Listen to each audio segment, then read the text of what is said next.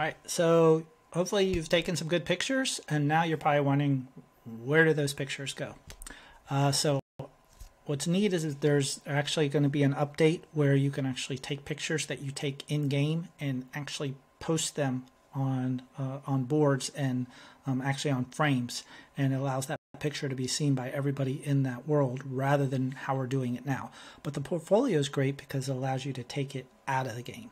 So let's go grab a portfolio. You, if you were playing this Minecraft game where it was automatically given to you from this uh, this particular world, if not, just go ahead to inventory, and we're going to start typing in portfolio. And notice I have an end portal and a portfolio, so I can just grab it and put it in any slot and X out. And so now I have a portfolio. Now, if I want to use that portfolio, let me show you the controls again. It says open, right? So if I'm holding it, it says open, otherwise nothing. So I'm going to open the portfolio. And there we are. Look, there's pictures that I took with spaces for captions. Let's look and see how many I took. Oh yeah, there's the one in front. There's the one behind. There's that bad picture there. Oh, let's get rid of it. Let's hit the, the delete button. There's another one kind of showing in the distance. There's the little Dover caves, and there's that first one. And so I can reorder them if I need to um, in my book. So you'll see that when we do the book. But for right now, it takes it in the, the oldest is in the last part of the book, and the earliest is in the front. The only thing you can do really to affect what's going on here is, you know, um, Media Pi, you can type in a, a, a caption. Media Pi, looking at the dolphins below. And then this caption is Dolphin Bay. Actually, I think it's called Dolphin Cove. There we go. Let's go to the next one. Um, sunflower garden. Taking in the sense. Go through and continue on. This, oh, I don't want this. Let's get rid of this one too. There we go. And I could say, uh, did not venture here, but this is little Dover caves. And notice how much I wrote there, so you can see you can fit a lot. And the last one is um, tree with beehive.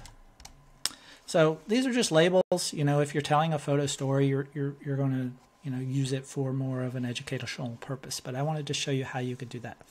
Uh, I could also click on the bottom right, or if you're in touchscreen, you'll see the icon for the immersive reader. It will read uh, whatever text you put in there. So that's nice. But now the last part is I want to export it. So I'm going to click on export. It will open up on my computer and say, what do you want to, where do you want to put it? It has the name of the world in it and the date. So I can just retitle this photo essay. There we go. I hit save. Ta-da, it's there. It's exported. If I want to get out of my portfolio, it's just sitting there. So if I want to leave this portfolio for someone, what happens if I hit Q? It drops, right? And so then that portfolio of my pictures, if I'm in a multiplayer world, would it be available for someone else to pick up and look at?